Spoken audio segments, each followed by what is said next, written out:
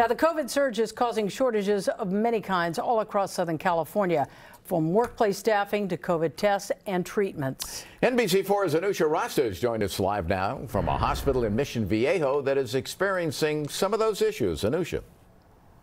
Chuck and Colleen, this hospital is dealing with supply problems for a very specific kind of COVID 19 treatment that high risk patients or unvaccinated ones normally get priority for, but now it's becoming difficult even for them.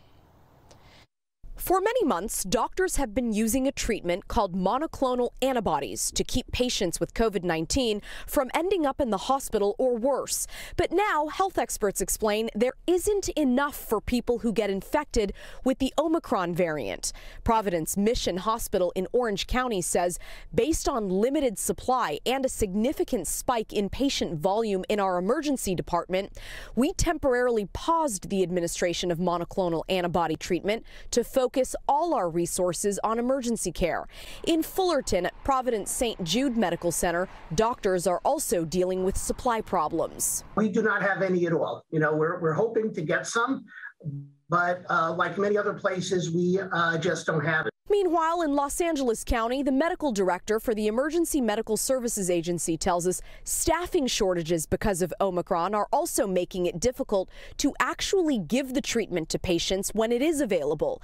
And she says the two monoclonal antibody treatments that have been on the market the longest don't work against Omicron. In addition, we don't have enough of the monoclonal that does work.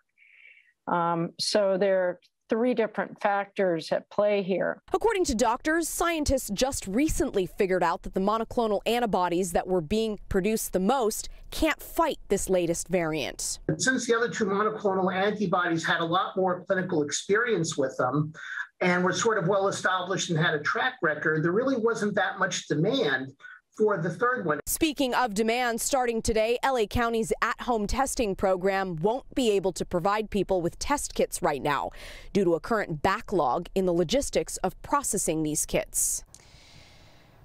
Mission Hospital says they are also seeing a lot of patients coming into the emergency department just for a COVID 19 test. The hospital says if you are only trying to get tested, going to the emergency room is not the best option. Reporting live from Mission Viejo tonight, Anusha Rasta, NBC4 News.